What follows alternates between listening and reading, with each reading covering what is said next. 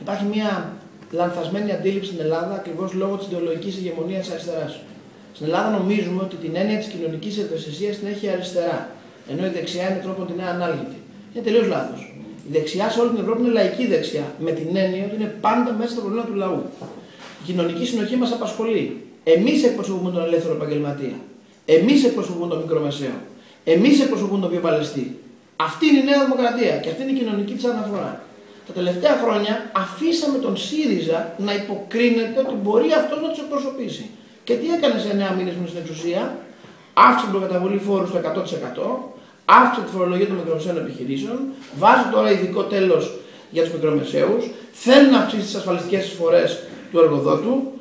Ε, εδώ στη Σάμο και στην υπόλοιπα νησιά κατήργησε την έκπτωση του ΦΠΑ, η οποία ήταν το μοναδικό, αν θέλετε, αντάλλαγμα για την έλλειψη μεταφορικού ισοδυνάμου που είχε πετύχει η χώρα όλα αυτά τα χρόνια.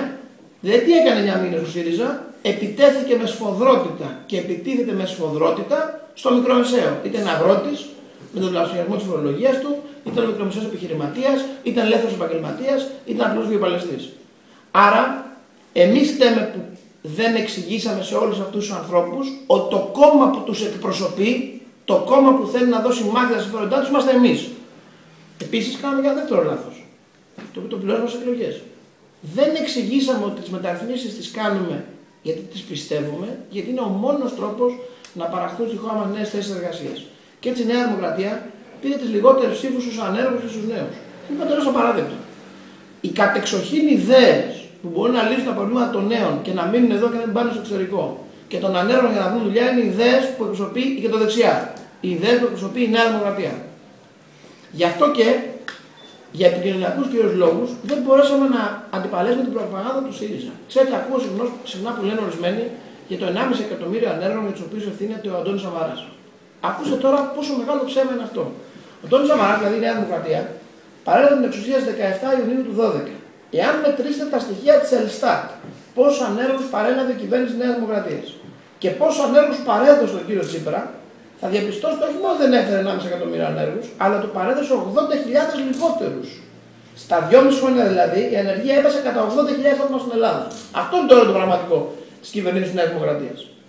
Μέσα σε 9 μήνες ο ΣΥΡΙΖΑ έχει αυξήσει τους ανέργους κατά 100.000, δηλαδή και οι 80.000 βρήκαν δεν χάσανε συν άλλου 20.000, και το προσχέδιο του προπολογισμού που έχει θέσει στη Βουλή ο κ. Τσίπρας προβλέπει μέχρι 31 Δεκεμβρίου του 2016 άλλους 250.000 ανέργους. Επιπλέον.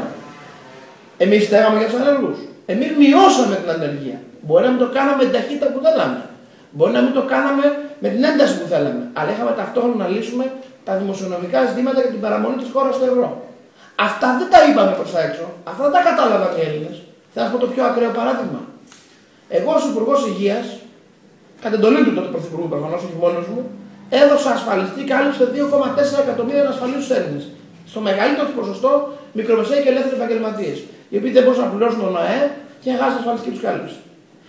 Ξέρετε πώς αισθανόμουν εγώ όταν έλαβα σε εκλογές Σεπτεμβρίου τον ΣΥΡΙΖΑ να έχει βάλει, βγάλει προεκλογικό σποτ ότι έδωσε ασφαλιστική κάλυψη σε 2 εκατομμύρια ανασφάλιστους με το δικό μου νόμο και τη δική μου πολιτική απόφαση, χωρίς να έχει βγάλει ούτε, ένα, ε, ούτε μια απόφαση, ούτε μια εγκύκλιο παραπάνω αυτό που κάναμε εμείς. Εμείς δώσουμε ασφαλιστική κάλυψη στους ασφαλίστου, ο ΣΥΡΙΖΑ το διαφήμισε ως δική του επιτυχία. Αυτά πρέπει να αλλάξουν στη Νέα Δημοκρατία. Δεν μπορεί να κάνουμε έργο και να το καπηλεύει το ΣΥΡΙΖΑ.